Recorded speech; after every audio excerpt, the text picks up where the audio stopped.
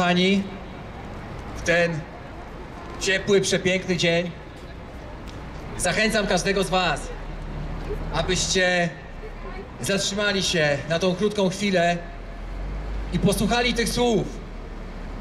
Słów świadectwa spotkania, osobistego spotkania z żywym Bogiem, osobistego spotkania z Jezusem, które również może być Twoim udziałem.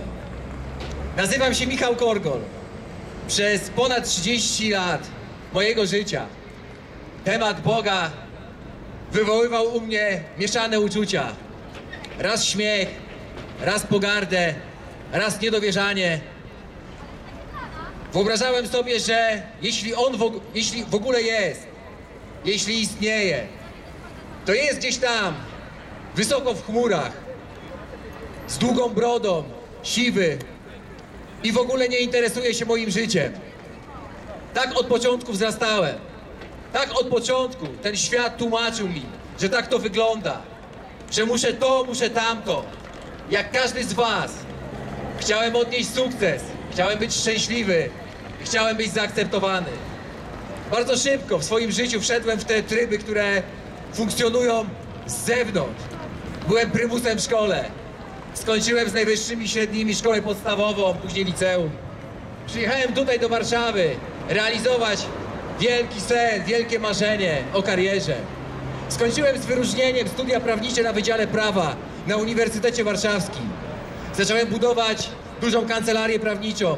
Byłem współwłaścicielem 200-osobowej firmy prawniczej. Z zewnątrz wyglądało na to, że mam wszystko. Zbudowałem z żoną piękny dom. Wyjeżdżałem kilka razy w roku na zagraniczne wakacje. Miałem pozycję, szacunek innych osób. Klekwa- Klepali mnie po plecach, mówili Michał, jesteś człowiekiem sukcesu. Ja udzielałem się na konferencjach, produkowałem się. Ale prawda o mnie była taka, że byłem mistrzem świata w zakładaniu masek. Każdego dnia udawałem kogoś. Udawałem, w zależności od sytuacji. Wiesz o czym mówię.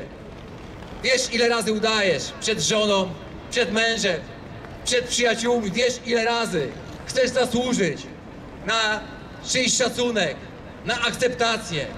Wiesz, ile razy nie chcesz wypaść słabo.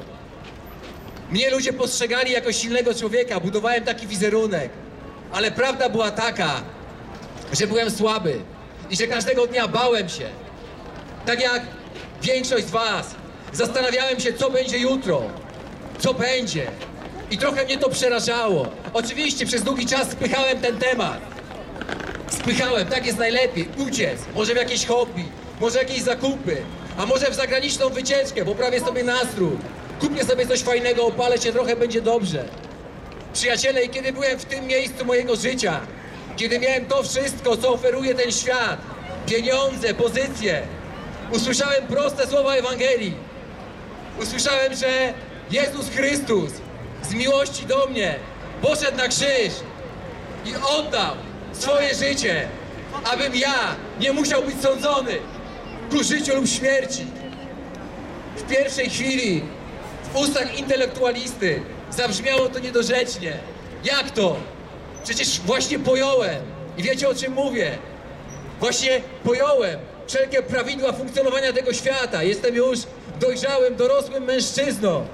Rozumiem prawidła ekonomiczne, gospodarcze, wpływ historii. Ja to wszystko rozumiem, ale nagle dowiaduję się, że to nie ma znaczenia, bo najważniejsza decyzja dla mnie to ta, że Bóg tak pokochał świat, że Syna swojego jednorodzonego dał, aby każdy, kto weń wierzy, nie zginął, ale miał życie wieczne. Bardzo szybko postanowiłem sprawdzić. Zacząłem wołać, jeśli Jezus, jeśli Ty żyjesz, jeśli Ty jesteś prawdziwym, realnym Bogiem, ja jestem dzisiaj. Dzisiaj, jeśli Ty nie jesteś wytworem wyobraźni, jeśli nie jesteś wyrzutem sumienia, tylko jesteś realnym Bogiem dzisiaj, jak chcecie poznać. Przyjaciele, jeśli staniesz w tym miejscu i w szczerości swojego serca zawołasz do Jezusa, natychmiast, natychmiast zobaczysz reakcję, natychmiast zobaczysz reak- reakcję.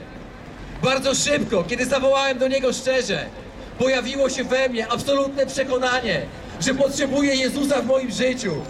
Przyszło przekonanie o grzechu, o sprawiedliwości i o sądzie. Ja intelektualnie nie wiedziałem, co się ze mną dzieje. Zamknąłem się w łazience naszego domu, tak żeby nie widziała mnie moja żona, żeby mnie nikt nie widział. Wstydziłem się sam przed sobą, nie wiedziałem o co chodzi. Ale stanąłem wtedy i powiedziałem, Jezu przyjdź i mnie uratuj, bo nie chcę więcej. Nie chcę więcej udawać, nie chcę się spinać. Dziękuję Ci, dziękuję Ci, że poszedłeś za mnie na krzyż.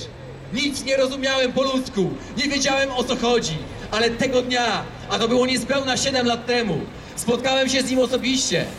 Wtedy jeszcze nie wiedziałem, że właśnie w tamtym momencie narodziłem się na nowo, narodziłem się z Bożego Ducha. Przyjaciele, kiedy Jezus Chrystus 2000 lat temu chodził w ciele po ziemi, jednym z głównych jego poselstw było musisz narodzić się na nowo. Któregoś dnia, a w zasadzie któregoś, którejś nocy przyszedł do niego taki bardzo poważany, zacny człowiek w Izraelu, faryzeusz o imieniu Nikodem i mówi Jezusie, znaczy mówi nauczycielu o co chodzi, bo widzę, że wielkie rzeczy robisz. O co chodzi? Jezus powiedział mu, Nikodemie, dopóki nie narodzisz się na nowo, nigdy nie wejdziesz do mojego królestwa. On mówi, ale jak? Ja mam prawie 70 lat. Jak mogę wejść powtórnie do łona matki? Jezus powiedział mu, nie rozumiesz, dopóki nie narodzisz się z mojego ducha. Co się narodziło z ciała jest ciałem. Co się narodziło z ducha jest duchem. Przyjaciele, nowe narodzenie nie jest dla wybranych. Nowe narodzenie nie jest na szóstkę. Słowo Boże mówi wyraźnie: Nie ma ani jednego sprawiedliwego, gdyż wszyscy zgrzeszyli i brak im chwały Bożej. Posłuchaj. Nieważne, jak żyłeś do tej pory, czy byłeś porządnym człowiekiem. Ja byłem porządnym człowiekiem, po ludzku byłem porządnym człowiekiem, uczciwym i szanowanym. Czy byłeś mędą, nieważne, czy przyjechałeś tutaj Bentleyem, Ferrari, czy przyjechałeś autobusem, nieważne, czy spałeś w tym Mariocie, czy spałeś pod tym dworcem, jeśli nie spotkałeś osobiście Jezusa, jesteś na prostej autostradzie, aby pójść do piekła. Usprawiedliwienie, przyjaciele, usprawiedliwienie jest jedynie z łaski przez wiarę. Z łaski. Otrzymaliśmy je za darmo. Za darmo. Nic do tego nie możesz dołożyć, nic nie możesz zrobić. Ale jest jeden warunek. Musisz w to uwierzyć. Musisz podjąć decyzję, właściwą decyzję, najważniejszą decyzję w Twoim życiu. Musisz w to uwierzyć i wezwać Pana Panów i Króla Królów, aby panował również w Twoim życiu. Przyjaciele, w tym kraju nie ma chyba takiego człowieka, który nie słyszałby czegoś o Jezusie. Ale to w ogóle nie ma znaczenia. Czy Ty słyszałeś coś o Jezusie? Ja się nie pytam, czy Ty chodzisz do kościoła, bo to nie ma znaczenia. Jest pytanie, kim dla Ciebie jest Jezus? Kim On dla Ciebie jest? Choinką? Wyrzutem sumienia? Co roku w święta? Odpębnioną jakąś regułką? Kim On jest? Jakie miejsce zajmuje? Czy Twoje życie kręci się wokół Jezusa? I mówię Ci to z perspektywy człowieka, jeszcze raz powtórzę, nazywam się Michał Korgol.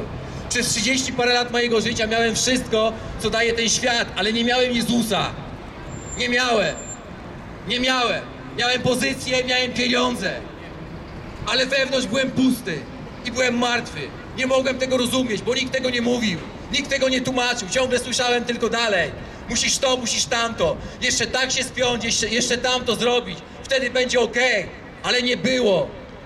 Siedem lat temu narodziłem się na nowo z Bożego Ducha.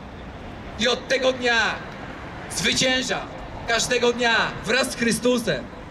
Przyjaciele, dwa tysiące lat temu, tam na krzyżu Golgoty, nastąpiła wielka wymiana krzyżowa. Jezus nie przegrał, On nie wisi dzisiaj na krzyżu. On wziął na siebie karę i winę za Twoje i moje bezbożne życie. On wziął, On wziął tą winę, ale następnie zmartwychwstał. Jezus prawdziwie zmartwychwstał i wstąpił do nieba. I wstąpił o nieba. Co to oznacza? Że jeśli dzisiaj wezwiesz Jego imienia, jeśli dzisiaj wezwiesz, wezwiesz imienia Jezus nad swoim życiem, jeśli ustanowisz Go Panem i Zbawicielem Twojego życia tutaj, już dzisiaj zostaniesz obywatelem nieba. Już dzisiaj, dzisiaj. Nie będziesz miał nadziei, że może kiedyś. Dzisiaj, to Ci zapewnił Jezus na krzyżu.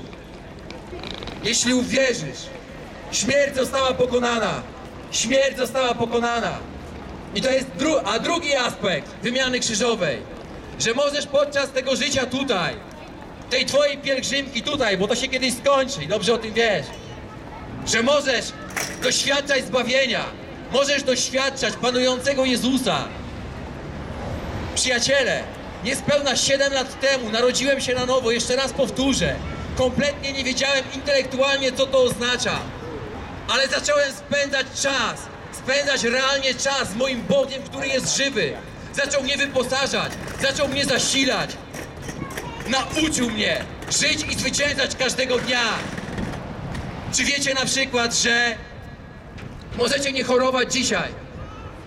Że 2000 lat temu na krzyżu Jezus wziął na siebie każdą chorobę i każdą niemoc. Że w Jego ranach i Jego sińcach jest uzdrowienie. Tak, przyjaciele? O tym się nie mówi, ale to jest prawda. To jest prawda. A nie jesteśmy tutaj tylko po to, żeby wam opowiadać. Jeśli ktoś z was choruje, może właśnie wyszedłeś od lekarza, może wydaje ci się, że tak już musi być. Ktoś ci powiedział, że masz nieuleczalną chorobę. Z tego miejsca chcę ci powiedzieć, że cię okłamał. Jeśli dzisiaj chcesz, możesz odejść stąd zdrowy. Jeśli tylko chcesz, wystaw nas na próbę. Jezus Chrystus, wczoraj i dziś ten sam, ten sam. Jego krew, przelana na krzyżu 2000 lat temu, ma moc dzisiaj podnieść cię z każdej beznadziei twojego życia, z każdego miejsca porażki, z każdej depresji, z każdej choroby fizycznej, bez względu na to, co mówią inni. Jeśli chcesz podejść do nas, albo teraz, albo później, bez znaczenia, jesteśmy tutaj dla was.